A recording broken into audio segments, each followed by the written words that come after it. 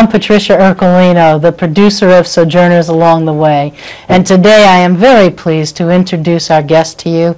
In fact, I am honored to introduce this very prolific woman to you. And I told Bonnie that I'm just going to introduce her and then turn her loose because she has a wide variety of information to relate to you. I, I asked her to speak about her life and the things that have happened in her life that brought her to the place where she is today. So Bonnie Nelson is the president of Firestorm International Ministries, and she also has quite a variety of singing. And I hope you're going to tell us all about this, Bonnie. Well, I'm going to work at it. Sometimes it takes me a little while to get going, but I've never been uh, told I didn't talk a lot, so I think it's going to be okay.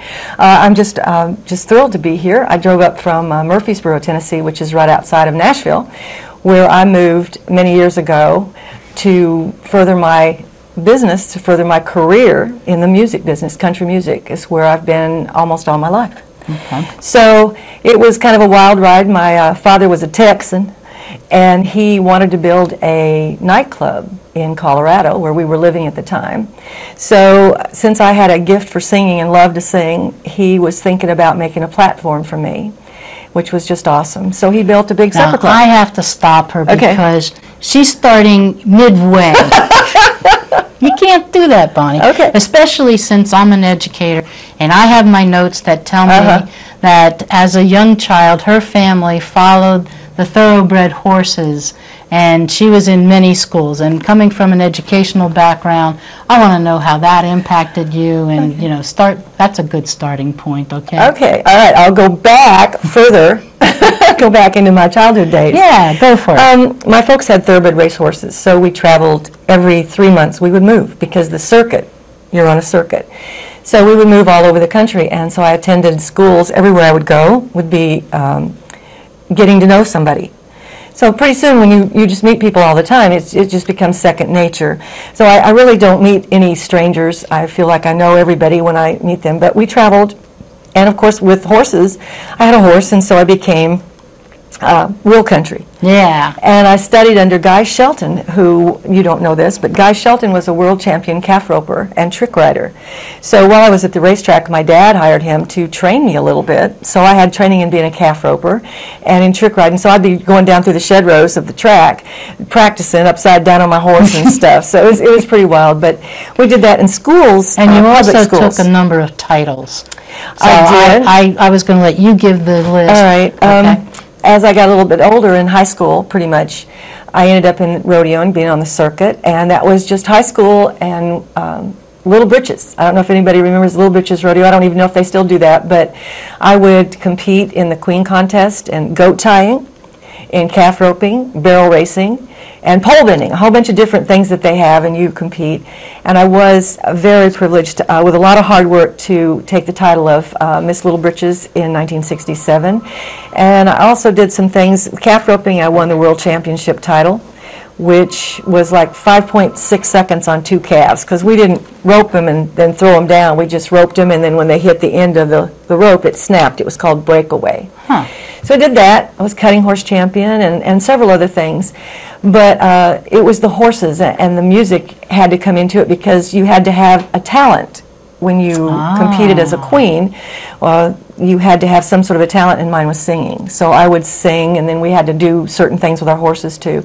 So that pretty well put me in, in the uh, uh, a little bit of the music business, and my dad saw that, and, and he keyed on that, and uh, so then when he built the club, it was all, he used to take me around to clubs all over town, and he'd, he'd get to the band and he'd say, I'll buy you guys a round of drinks if you get my daughter up to sing a couple songs. so he would uh, make the way for me to practice, to learn, to, to get up there and get in training is really what I was doing. So then when he built the palace, then I had my first show in 1970, and it was a beautiful place. Anybody who came to Colorado came to the Country Palace to see our show. We had a dinner show. They had steak, lobster, prime rib, and the biggest dance floor. And even today, I have people say, I used to come to that club. It was so much fun. While at the club, uh, my singing partner and I, Bob Britton, won a talent contest, which sent us to the Grand Ole Opry. So I came to Nashville my first time, and we were, uh, my dad wanted me to cut an album, and so he was going to pay for it, but we were looking for songs. So we were listening to songwriters, and one of the guys, a little guy named Jimmy Bowen, said, I got a friend who has, uh, he's looking for a girl singer. So this is one of those fairy tale Hollywood stories that you just think can't happen. I was in Nashville for three days, and I uh, went to meet Kelso Herston. Kelso Herston was leading uh, the record company United Artists Records.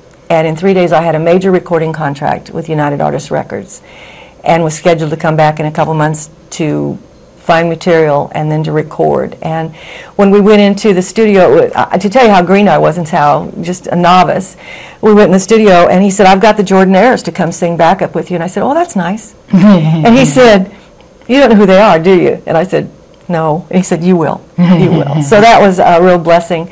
But uh, so that put me in the music business and traveling. And Kelso Herston was the one who uh, was also one of the biggest companies that did commercials.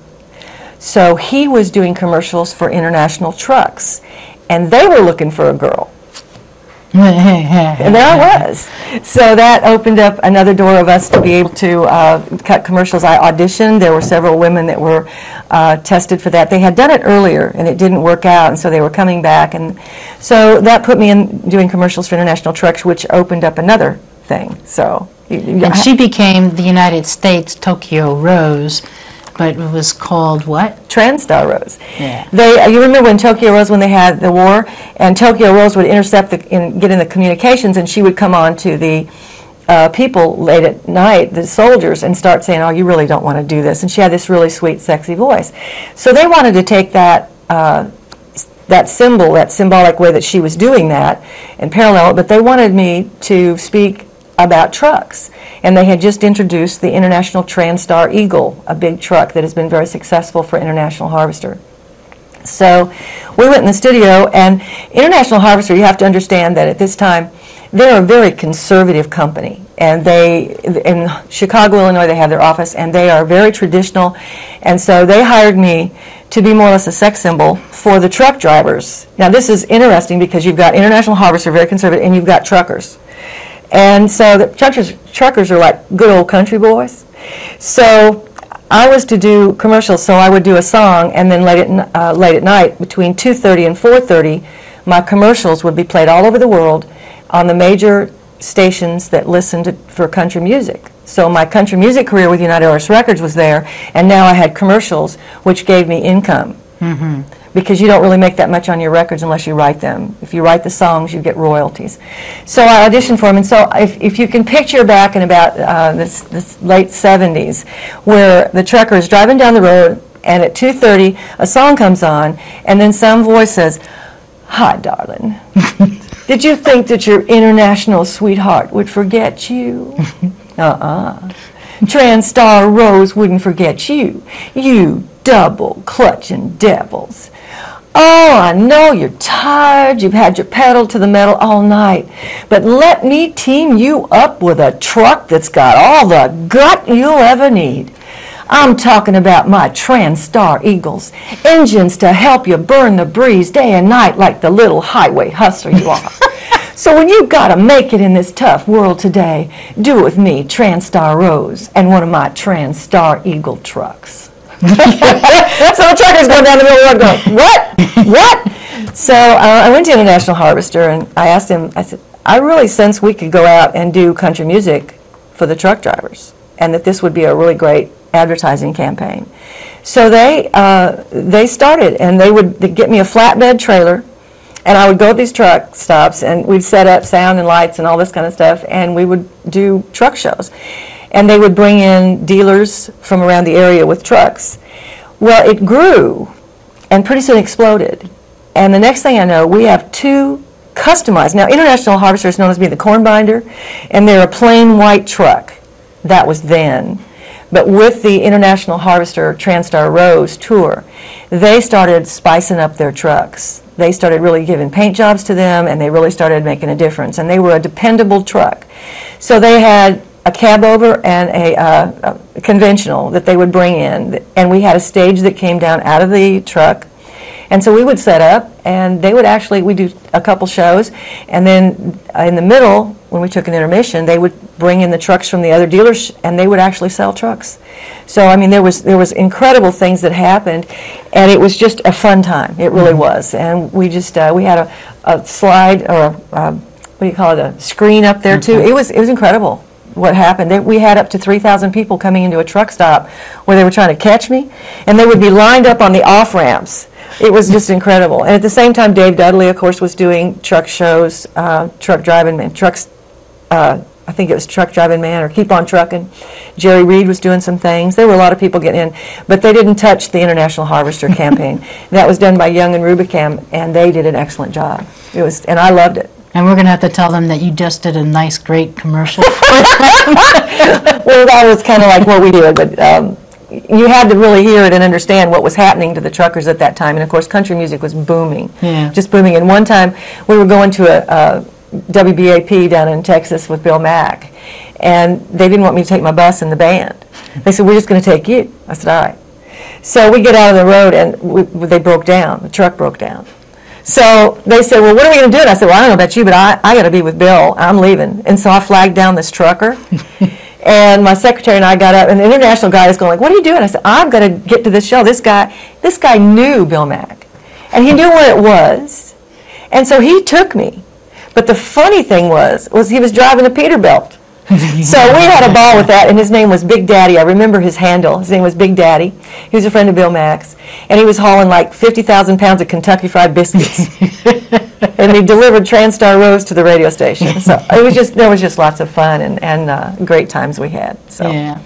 I also asked Bonnie if she would be willing to sing some songs. So we're going to do a before and, and then an after, and she'll explain what that means also. So you ready to do a Oh, song? I, I think I got one for you uh, from back in the days. we- Uh, having to do a little bit of, of manual work over here, but uh, when I was touring, I was also was recording for International Harvester country songs and also with United Artists Records. They were both working hand in hand. And so one of the videos that I put out was called Walking After Midnight, and everybody always loved Patsy Cline. So did I. She's one of the main reasons I got in the business. And uh, so when I did one of my uh, videos was called Walking After Midnight, and the Tennessee National Guard got involved with me, gave me a real plane, a C 110 or something. I mean, it was just incredible, the things we had.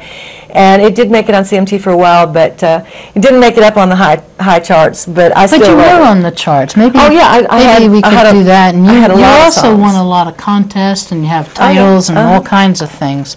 So you want to sing the song so that Yeah, way let me do uh, the- the Jake, song and, uh, Jake can mute our Right, so mute everything, and I'm going to switch over to music. All right, get ready. Memories, memories.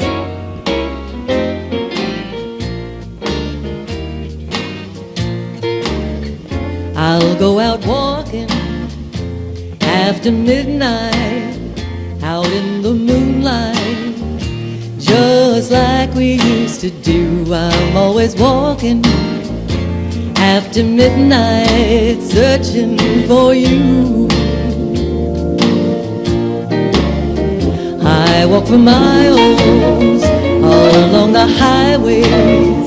Well, that's just my way of saying I love you. I'm always walking, always walking after midnight, searching for you. I stop to see that weeping willow crying on his pillow.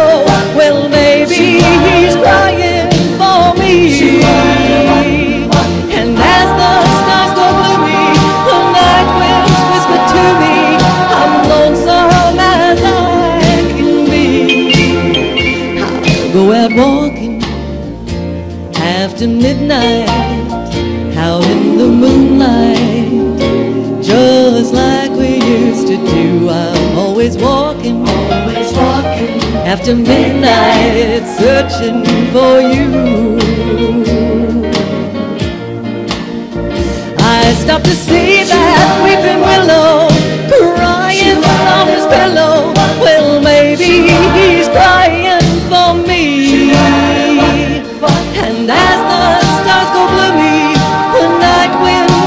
To me. I'm lonesome as I can be.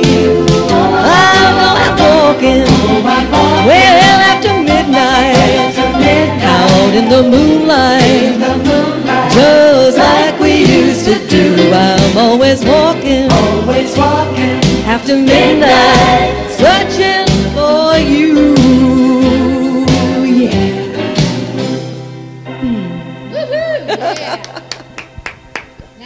See why Bonnie was the one that recorded 11 albums. I'm going to read this from my notes. Give you a little background Thank music. you, that would be nice, but I don't know the song, at least I don't think I do. Um, Bonnie has recorded 11 albums, has done seven videos, and has 16 sing- singles, several of which made it to the national charts and the national and Nashville network. Uh, uh, Bonnie has also had contracts with Fredericks of Hollywood, and the list goes on and on. But she also um, has traveled all over, all over the United States, Canada, and overseas, has performed from big time all the way down to county fairs, conventions, and package shows. Um, She was the opening act for Bob Hope, Vince Gill, the Oak Ridge Boys, Charlie Daniels, and is there anyone else? Because my, my thing goes, and the list goes Oh, there was- on. There was just a lot of folks. Is uh, there anyone in particular that you Um, would? ended up going overseas to? Germany to do some television programs with uh, Hank Williams, Drifting Cowboys, Christy Lane, John Conlee. Uh, when you're in the, in the music business, when you're a girl singer just coming up, they usually put you with a lot of guys. so like Jerry Reed, I mean Waylon Jennings. Um, we did a show in uh, Illinois State Fair with Willie Nelson, and there was this thing with uh, me with Willie Nelson because I'm a Nelson. Uh-huh. So they uh, thought sometimes that I was either his uh, sister, who was Bobby, or his uh, niece, Sherry, started singing. And we were all with uh, Buddy Lee Attractions at that time, and so they would get us mixed up. and so sometimes I, I went into a place and they'd, they'd say, you miss your dad? And I'd go like, well, yeah, yeah, I'm on the road a lot. And, and finally I'd figure out, uh-oh, they think I'm Willie's daughter. And so uh, we had to be kind of careful. there was all kinds of wild stuff that would go on back then. It was a, it was a different time. It was uh, traveling in the in the bus with five or six guys going all over the United States, all over the world. Um, it was a wonderful time. It was fun, and it gave me a lot of memories, a lot of things where a lot of people never had a chance to go out of their town. And I could travel across this country and I could see the grass and I could see, like in North Dakota, all the sunflowers that were in miles of sunflowers. And I could see the water, the oceans on the sides, and the lakes and the mountains. And I, I'm so thrilled with my country. And Oh, yeah. so I have so much more to look back at. And uh, so I was blessed, and, and everything I was learning or going through at that time, I didn't realize was for what was coming later in Mm. my life. So it's it's been an interesting ride, and it's not over. Oh, So, definitely. Yeah. And I, and Bob Hope was fun too. He was one of those unique people. He just had a kind of an aura around him, so that when you walked up, excuse me, he would he would just you, you didn't want to get too close, but he was always funny. And we were doing the show in Denver, and I said, well, I'll go on, because I was usually the opening act, because I didn't have the big hit record. And he said, oh, no, I'm not going on after some good-looking chick with the long legs. He said, no, no.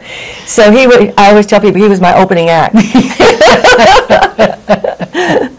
so that was, that was So you're saying after he went on? He went on before me. He opened up the crowd to me. Yeah? Yeah. So did he, he opened the show? Yes. Then you sang, and then he came back? Well, then we had another guy that went up, uh, Jimmy Swag, uh, I think, not Jimmy, it was the gentleman that was the astronaut. He was on the show too. It was a package show where there were several other uh, people that were speaking.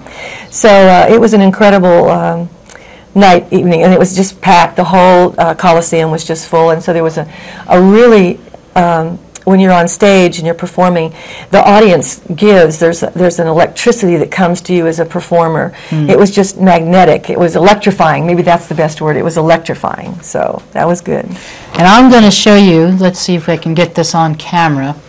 Um, At what point would something like this happen? If you can see it, can you, can we zoom in on this? Uh, Well, I'll just tell them what was going on, and maybe they'll have time to zoom in. The sheet. There he goes. He's trying to get that. All in. right. Um, the uh, th- usually as a performer, you have an opening song that you go and it gets the crowd going, and then at the end, you always want to have your grand finale. That's when it's whoa, and I'm love my country, and so I'm mom, dad, apple pie, and my country. So I had a song that was called "America Is," and um, we had pyro, fireworks. So it was all during that last number, and this was a song called "America Is." And that was the closing number. Thanks, guys. That's great. Matt and Jake, right? Yeah. They're here helping us, our studio guys. So that was a closing number, and I, I love my country. Yeah, me too. And I also love the fact that you went from this kind of fire, and later Bonnie's going to tell us about Firestorm. We'll just briefly introduce that during this program, and then we're going to do another program where Bonnie's going to tell a whole lot about Firestorm International Ministries. All right. So- Well, um, basically, my everything started happening in my life. Like you'll hear a lot of people talking about my life fell apart, and my life started falling apart piece by piece. And I had always known there was a God. I just didn't know He was personal. So my brother was in a major plane crash, and I went to Texas to be with him.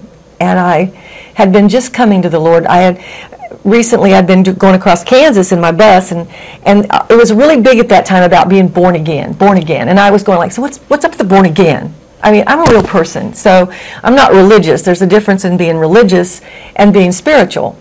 So I, went to my bass player, and I didn't know he was a charismatic, which means that he was really into the Lord, big time. And I said, so what's this deal with born again? What is this, some sort of a fad, or, or what's happening? He said, no, it's real. He said, it's, it's, it's in the Bible. And so he got the Bible. So my drummer was driving, Mark was driving, and so Terry got me in the uh, middle of the bu- bus. We had a kitchen area. So we're standing in the kitchen area, and he's got a Bible, and he's pointing me to the scripture saying, you're born again into Christ. And he said, do you believe in Jesus? And I said, well, yeah. He said, are you sorry for your sins? And I said, yeah. And he said, well, then you're born again. And I said, that's it? and he said, yeah. And I said, well, I don't have to walk on coals or anything? And he said, no. And I said, well, do I get a certificate or something? He said, no. Because, see, I have no clue what that meant. Okay. I did not understand a thing. You're looking at a person that met God. That day was in 1996 of my life. We had not gone to church before that. My grandmother was Church of Christ, and I remember her talking about the Lord, but I knew nothing. So I had to go study a little bit to find out what this was. And then when my brother was in the plane crash, I'd been studying a little bit to see what this was about. And I took a prayer cloth. I was in this church, took a prayer cloth, and the church was an experience for me. I'm going to tell you. Before you get there, Bonnie, Okay. I, I have to have you rewind a little Okay, bit to, to 1991 because in my notes it says that your life began to fall apart. So You want- you so want what I- happened? I want yes, I want you to tell people right. what happened that brought you to that point, right. so they can really appreciate right. it. So my brother was in a major plane crash. But that was in 96. What happened Well- in 91? No, I was born again in 96. Oh, okay. Okay. So, Oh, I see. what- yeah, so he, he had this major plane crash, which is where I started calling out for God because they said he wasn't going to live. He had like 48 hours maybe to live. So I went driving to Texas going, God, save my brother, save my brother. And, and he was burned. He, he had planes, and he still has planes, but he had a, a jet MiG fighter plane. And he went to take off in Amarillo, and the uh, turbo engines failed. So in order to miss the houses, he banked the plane, and he was able to eject the, cat, the canopy. But he went down. And so my nephew, who had usually doesn't stay when he takes off, was still there. So when he crashed, the plane was full of jet fuel. It had 750 gallons Ah. of jet fuel, and it exploded. His suit failed. He wasn't wearing uh, the helmet. And so my brother, my nephew, pulled him from the plane. And it was so hot that his tennis shoes and his jacket melted. So my brother is, is burned, and there is a fire truck going by, just going by. It was checking plugs, and they were able to get there. There was an ambulance that was just five minutes away that had two burn specialists in it. And when he got to the hospital, they life flighted him, which usually would have taken 20 minutes. It took him like 12 minutes to get there. And there were doctors on staff that knew about burns. So he is there. Uh, I'm driving to get there, and I'm praying, and um, as I come around a corner in Texas, it's probably 2 o'clock in the morning, and I come around a corner, and it was Groom, Texas. There's the biggest cross I've ever seen in my life, standing in the middle of a field, lit up. And I'm thinking, I'm having a vision. My God, my God, what are you doing? And it, it, now I know that it's built and it's saved a lot of people's lives. It's just a concrete, uh, it goes up like hundreds of feet. And people see it and have an experience like me. Well, I just knew it was God that was telling me it was going to be all right. They had construction in Amarillo, or uh, Houston is where it was, and so I had to go around the corner. I ended up at the exit where the hospital was. All kinds of things happened. I got in there, and the pastor of the of the hospital was there, the staff uh, pastor, and I said, "My brother's going to die." And he said, "Calm down, calm down." So he had two punctured lungs. His he had been burned breathing in fire. His ears were the size this big. They were huge. His lips were huge. His whole head was bandaged. It was about this big because it was swelled. And they said, "We don't know if he'll be able to talk. We don't know if he'll be able. We don't know anything." Within 24 hours, the first lung healed itself Wow. and they had tubes in his chest coming out to uh, to release the air because when your lungs are punctured, the air stays in your chest. So they were having to take the air out, so he wouldn't literally blow up. They would have to take him in, and they did a chemical treatment for him, and they gave him um, uh, morphine and stuff to put him in this tank, and they would dunk him with chemical treatments. And then when he came out, they'd give him sodium pentothal so he wouldn't remember because it was there's pain. So in three weeks, to the day, to the hour, my brother walked out of the hospital Wow. alive. Wow. And he, he, his arms, they had him in these uh, ranger type, like Power Ranger suits that you see, so that they would compress the skin. And they had, they had grafted skin off of his legs to go on his body. They'd also, in the first few days, taken skin off a dead person to graft onto him.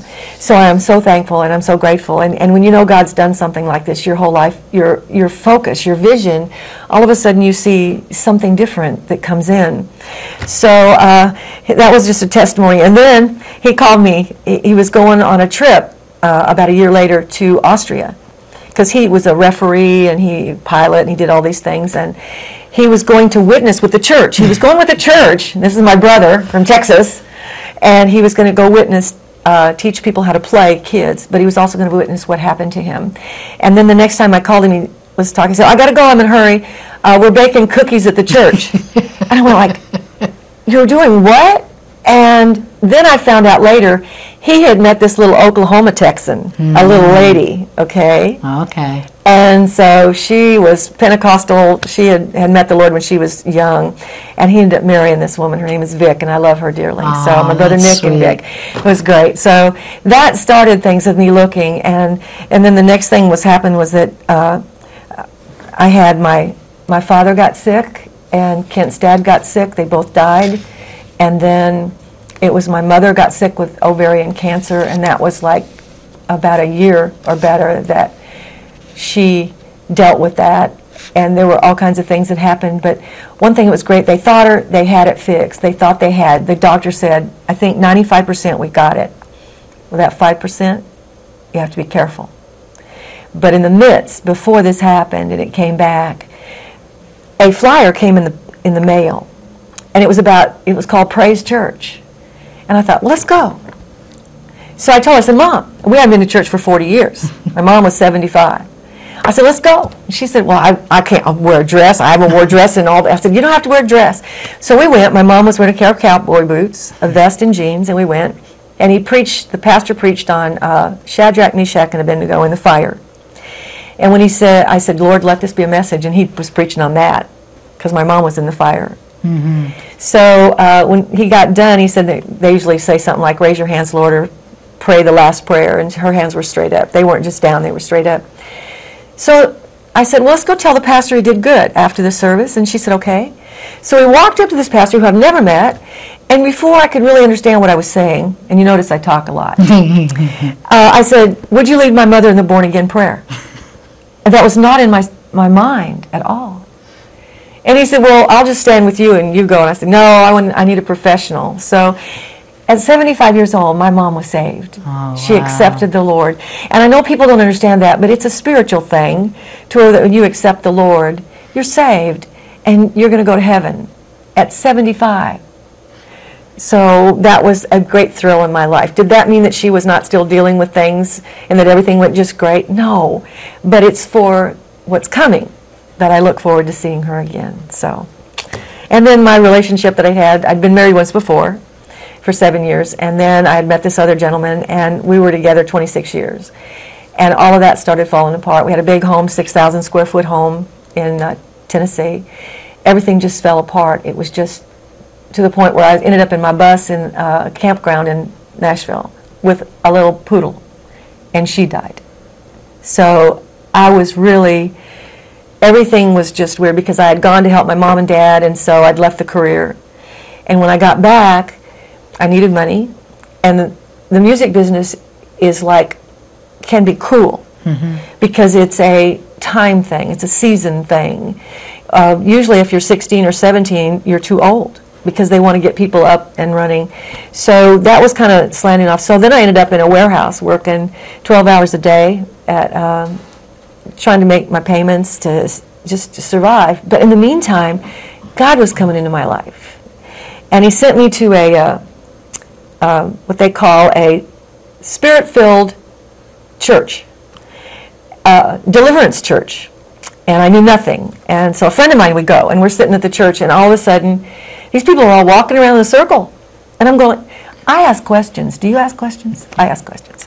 So I, I thought, well, so I got up, and I just got in line with them, and I'm walking around the church with them, and I said, what are we doing?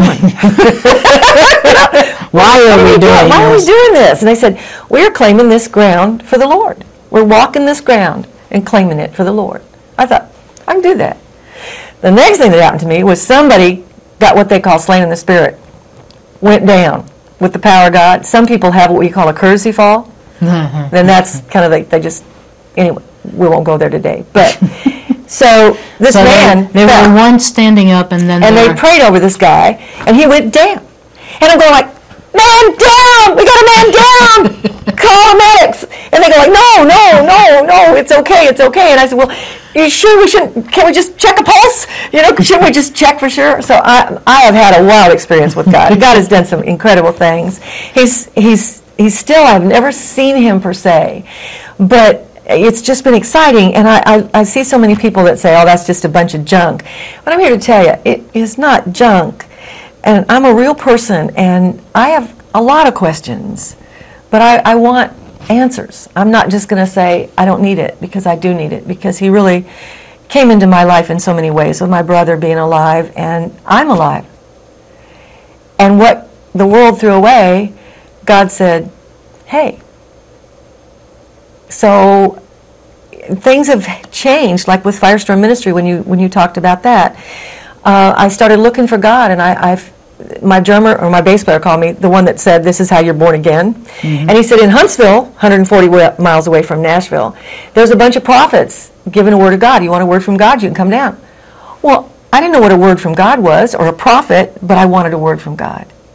So I drove, and they were doing prophetic training. Hmm.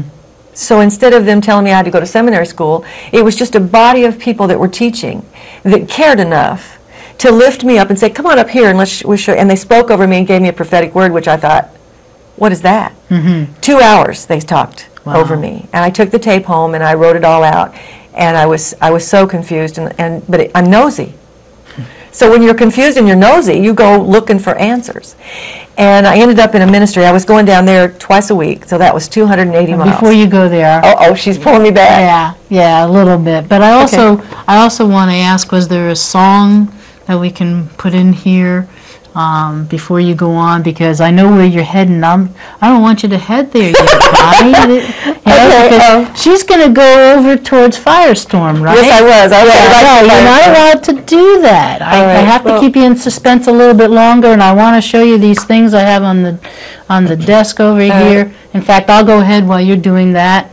This is, let me see which one. I, that's this one. Bonnie came out with after um, coming to the Lord. She has done a few CDs. This one is called um, God and Country. God and Country. And she also did another one called It's a God Thing. And I think it would be fun to hear some of the stories behind these. okay? So you sing, and then you can tell a story. All right. Um, I'm going to switch over to the other mic, talking on this one first, because the singing has a little bit of reverb on it, so it makes it a little bit better. Okay. But the the thing that God did to me was that He just He everything that I learned in the music business, He's using now. It's not over, and I, I've really been fighting that because I didn't want to say I was uh, trying to use my music talents or something and be an, a country music singer in the music business. So I started learning a bunch of songs that were like what they were singing in the church. And then recently, God has been bringing me back into country, the vein. So I wanted to give you a sample of some of the things that I've been doing um, in Firestorm because it's still me.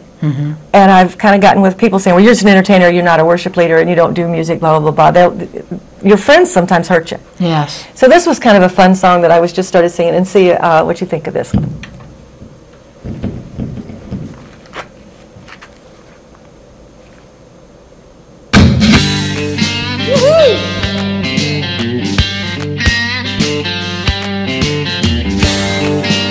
Are you ready?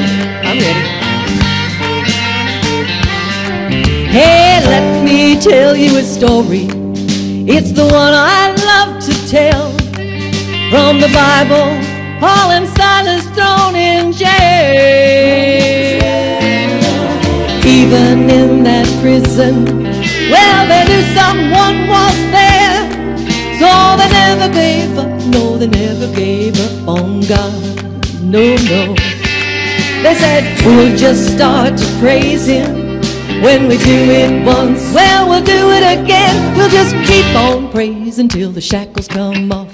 Keep on praising till the shackles come off. Praise Him in the midnight hour. Praise Him for His mighty power. Praise Him when your heart is broken. Praise Him when the prison doors open. Just when you think you think it's enough, you think it's enough. You gotta keep on praising, keep on praising till the shackles come off. Keep on praising till the shackles come off. Oh, get on. Woo! Now, when your life seems hopeless and everything goes wrong, locked up in a prison of your own. There's a light at the end of the tunnel, no matter what you're going through. So don't ever give up, no, don't ever give up on God, no. Now just begin to praise Him. When you do it once, well, you do it again. You gotta keep on praising till the shackles come off. Keep on praising till the shackles come off. Praise Him in the midnight hour. Praise Him for His mighty power. Praise Him when your heart is broken. Praise Him when the prison doors open. Just when you think, just when you think you've worshiped Him enough. You gotta keep on praising till the shackles come off. Keep on praising till the shackles come off. Praise Him in the midnight hour. Praise Him with His mighty power. Praise Him when the prison doors open. Praise Him when your heart is broken. Just when you think, think it's enough. You think it's enough. Whoa, whoa. You gotta keep on praising till the shackles come off. Keep on praising till the shackles come off. Keep on praising till the shackles come off. Keep on praising till the shackles come off. Now, Bonnie, be- All right. um, before you go any further, Yeah. I would like to offer you some contact information on how you can get in touch with Bonnie. And I'm going to spell her email address. That's her first name, Bonnie, B-O-N-N-I-E, N-E-L-P, which stands for Nelson and Productions, but it's B-O-N-N-I-E, N-E-L-P at AOL dot com. Whew, you go, gal. Ah, I would love, I would love, in fact, I've asked Bonnie if she would, we can do total of like three programs, so we can have one where she just goes whole at it, singing. Uh-oh. Lots of songs, yeah. Yeah, so I asked her to bring a bunch of songs with her. She has, I, I've called her prolific because she's multi-talented multi-talented. Not only is she a singer, not only is she the president of Firestorm Minis- International Ministries, but she has also done some writing. I have a couple of her things here. This is The Women in the Church. I hope it's all encouraging. Telling good. women you can do it. Maybe you can talk to us a little bit about that because I really want to encourage women. I do. This one's called God's Oils. And Bonnie has a story about how she actually came up, and I'll have to show this later, but this is an oil blend that Bonnie came up with, Lady Lady. See, she's prolific. She does a lot of stuff. And it's an interesting story behind that. And then this is the crema- crem- Cremation. cremation issue revealed. So we're not going to have time to talk about all of those things, but I would like you to talk about a few of them, all right? And um, I get to choose. Okay, well, I wanted to ask you if you want to pick up someplace where, where we were before you sang this song. Okay, sure. Okay, um, maybe, how about, tell us a little bit about your book, which I Ah. don't have a copy of. I know, bad girl, bad girl, but No, I will make sure that okay. you get one so you can see it. I wrote a book called It's Not Luck, It's God, because a lot of people give credit to uh, things that happen in their life as being lucky, Hmm. and I don't anymore, because I know the difference. I know that it's the Lord. So as I was learning all this stuff, and I didn't know a lot of stuff. I think God was doing a cram course with me, like college. So I'm in the bus in the campground, and I start writing about things that are happening to me. Because when you go through something, I've always shared. Firestorm Ministry, all the books that you see are a result of me sharing teachings on the ministry with people. So as I was learning things, I was writing it down. It was a year. And I would sometimes start writing uh, in the morning, and then the next morning I would say, I got to quit, Lord. I just got to quit because the sun was coming up, and I would still be there in the front. I'd have papers everywhere. I had my IBM Selectric typewriter because we didn't have computers then.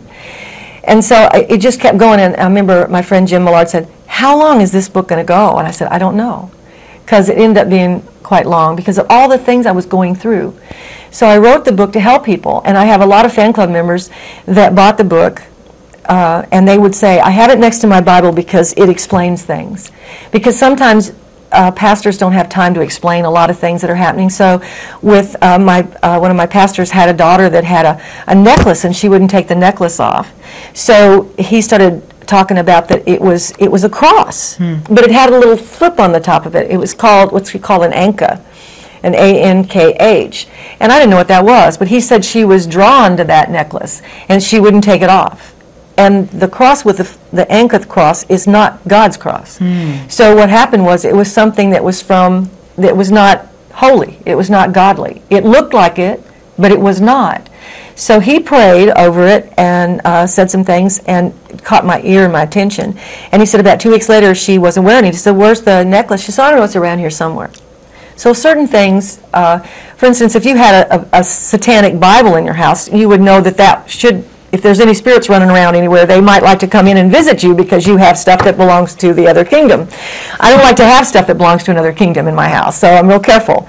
And uh, so I learned about that and I started studying. So that was one of the chapters was about the occult and how to help your kids or you if you're having a lot of troubles because we have people that are having a lot of supernatural things happening right now, and they're not all bad, but we need to be careful in our world today. There's, uh, in my city I live, they have like about, they had 16 witches' covens, actual covens of witches, which you don't think Hmm. That's happens nowadays. No, we That are don't. in our town, and so I wanted to know what was going on with that and how that affected me and my family.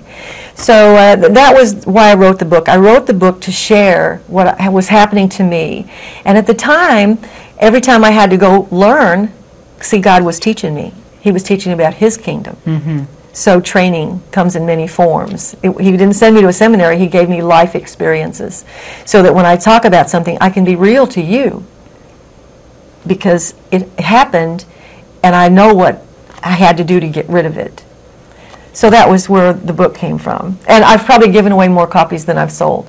so it was not something that God had me do. And it, it's one of those things where you just knew sometimes God will ask you to do something in your life, and until you do that, you don't get to go on. You kind of have to, I'll do that, and then, okay, now what, Lord? Mm-hmm. Seasons. Seasons. Now, did you finish telling the story about how you became a Christian? Uh, because I know I kind of pulled you back one time because you were ready to go there. And it's like, no, Bonnie, you can't go there yet uh. because you didn't tell us all these other things that had happened that led up to that. And then you started again, and it was like, okay, Bonnie, let's interject a nice song here. Yeah, So okay. I want to make sure that, you know, you want wanted, uh, you had the opportunity to give My- all, all the information that you would like.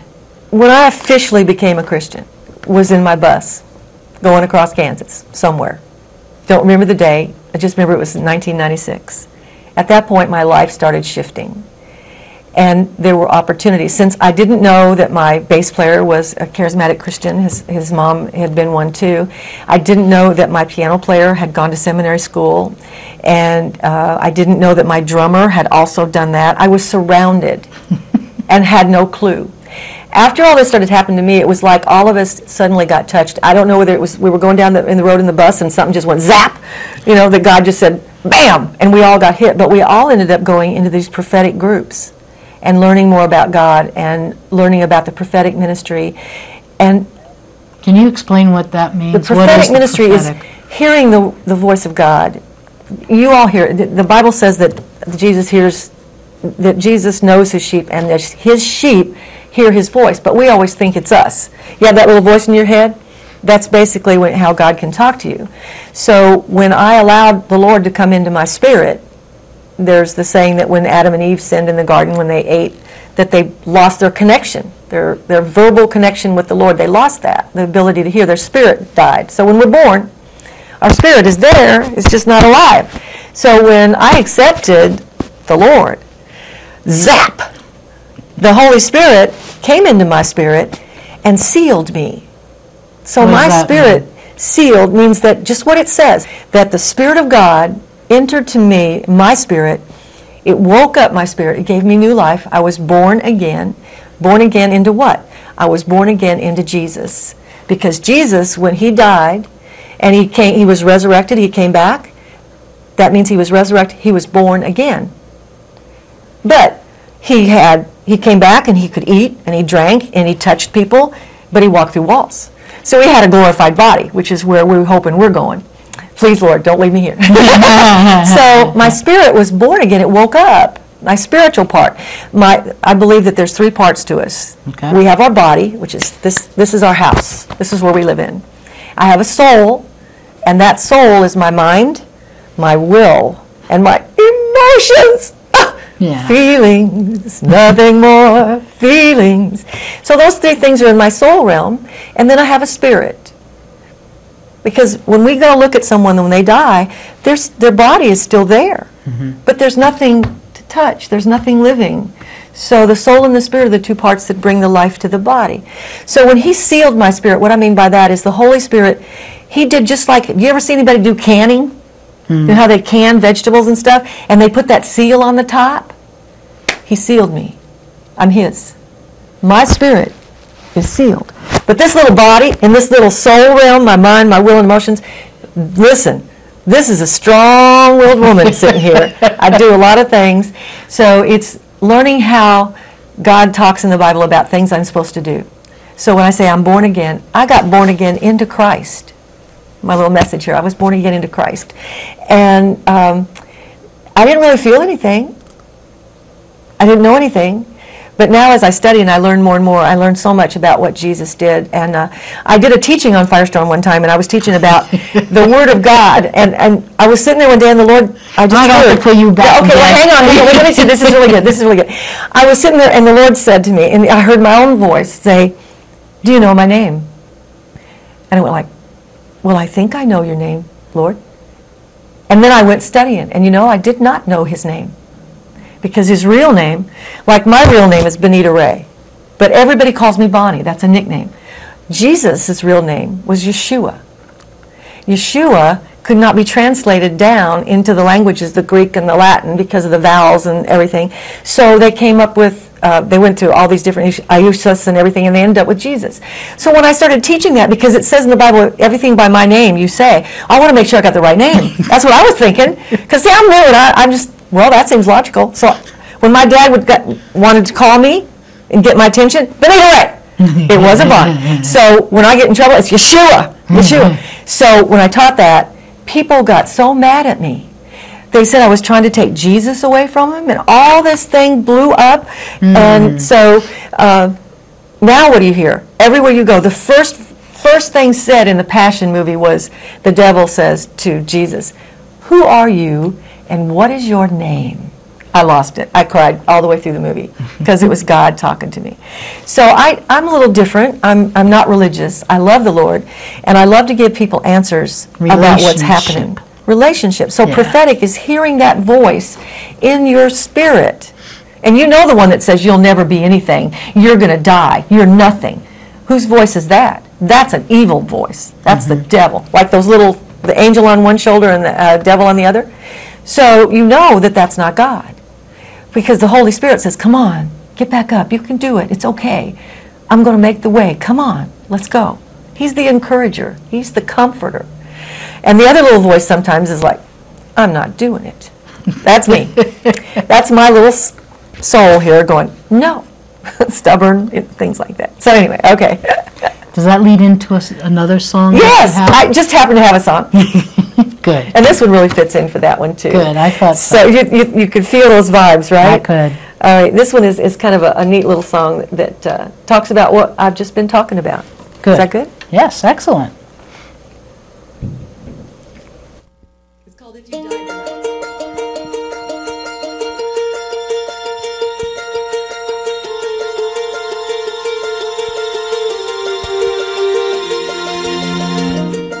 I don't have it all together. Sometimes I find myself asking why, oh why. But I know we don't have forever.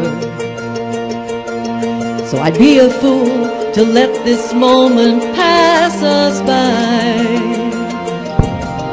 At the risk of sounding crazy, let me ask you if you died tonight, where would you be?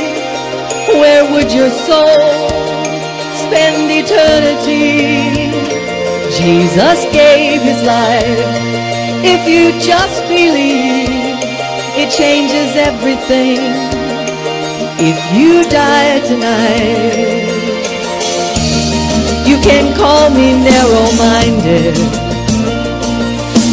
I believe down in your heart there lies the bruise. And if you look down deep, you'll find it. An empty place that's pointing to the truth. You can hear his voice inside you, gently asking. If you died tonight, oh, where would you be? Where would your soul spend eternity? Jesus gave his life. If you just believe, it changes everything. If you died tonight, say I need you. I can't live without you. Come and fill my life with your glory, God. Say I need you. I can't live without you. Come and fill my life with your glory. Say I need you. I can't live without you. Come and fill my life with your glory. Oh, say. I can't live without you. Come and fill my life with your glory. So if you died tonight, where would you be? Where would your soul spend eternity? Jesus gave his life. If you just believe, it changes everything. Oh, if you died tonight, where would you be? Where would your soul spend eternity? Jesus gave his life. If you just believe, if you died tonight, where would you be? Oh, if you died tonight, where would? Would your soul spend eternity? If you died tonight.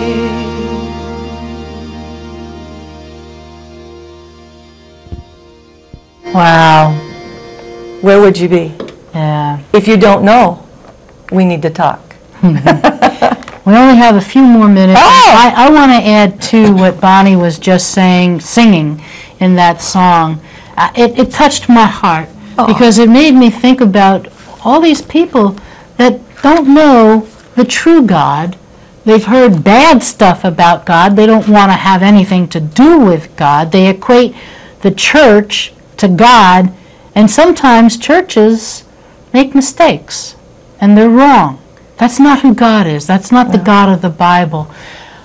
If you were to die tonight, where would you go? There are only two places. You either get to go to heaven or you get to go to hell. And I don't want anybody to go to hell. I want everybody to go to heaven. Can I intercede a point here? Of course. Um, when my mom was dealing with ovarian cancer, and I got there, there were all kinds of things, and she said this to me. She said, "Why is God punishing me?"